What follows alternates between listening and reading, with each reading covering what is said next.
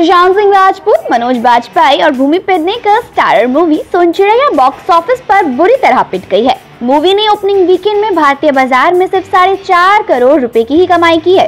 Critics से मिले अच्छे रिव्यू के बावजूद फ़िल्म ने पहले महज एक करोड़ कमाए थे। क्रिटिक्स ने सोनचिड़िया की काफ़ी तारीफ़ भी की थी, लेकिन माना जा रहा था कि वर्ड ऑफ़ माउथ की वजह से फ़िल्म को वीकेंड में फ़ायदा मिले। लेकिन दूसरे दिन भी फ़िल्म की कमाई में कुछ बदलाव देखने को नहीं मिला।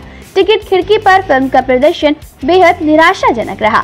सोमवार को भी, यानी चौथे दिन, इस फ़िल्म ने लगभग एक करोड़ की ही कमाई की। ये फ़िल्म टिकट खिड़की पर बुरी तरह से पिट चुकी है। दूसरे हफ़्ते इसका टिक पाना बेहद मुश्किल नज़र आ रहा है। बता दें कि सुशांत की इस फ़िल्म का बजट 30 करोड़ है और सोन चिड़ैया को कुल 940 स्क्रीन पर रिलीज़ किया गया है, जिसमें से 720 स्क्रीन भारत में और 220 ओवरसीज में मिली। अच्छी कमाई ना होने का सबसे बड़ा कारण कम स्क्रीन भी हो सकता है, लेकिन चंबल के डाकुओं की ज़िंदगी को दर्शाती मूवी के बॉक्स ऑफ़िस पर अच्छा कलेक्शन करने की उम्मीद थी। पर हुआ क्या कि सोन चिड़ैया को कार्तिक आर्यन और कृति सेनन की लुका छुपी ने करारी टक्कर दे दी है?